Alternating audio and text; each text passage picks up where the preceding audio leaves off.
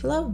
So today I want to show you how to create camera shutter effect. I did this effect I would say a couple months ago on Instagram and it went super viral, but I never posted it on YouTube.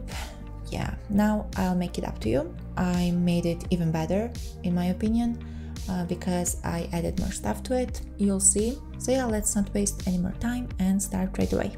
First things first, we need up to 15 images, but honestly you can use as many as you want. This is just how many I used, but feel free to play with it and use as many as you like. Each image should be 10 frames long. Now add frame texture above the images. I love film textures, so no surprise here. And I know you do too, which is why I created Picture Collage Effects Pack. It's a set of templates for Premiere Pro and After Effects with built-in film frames, textures and sound effects. It's a simple drag and drop, just replace your images and you're done. Links in the description if you want to check it out. Okay, so cut the frame exactly with each image, then nest the frame and image together. Now go to the start of the first nested sequence, move 3 frames to the right and drag the second clip above. Repeat this for the rest of the clips. Not sure if there is some kind of shortcut to make this process faster. If you know, please let me know, much appreciated. Okay, so apply directional blur to each nested sequence and change the direction to 90.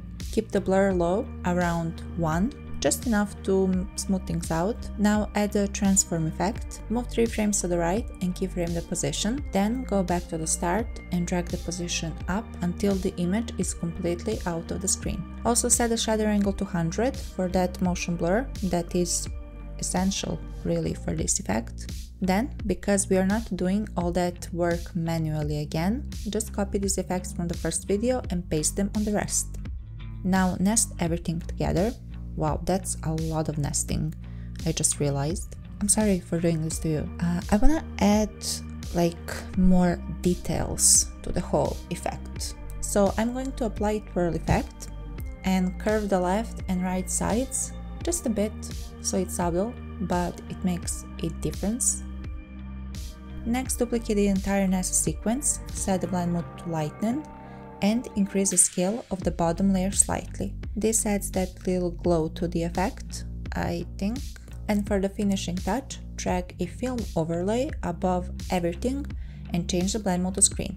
I'll link it below in the description, the exact one that I used if you want to download it, it's completely free. And that's it. Your shutter effect is done. Simple, but makes your videos so, so much better. If you found this helpful, give this video a like. It helps me, it helps the channel, and it helps your algorithm recommend you when I upload next video. Subscribe if you haven't already and turn notifications on so you don't miss my weekly uploads. As always, thanks for watching and I'll see you in the next one.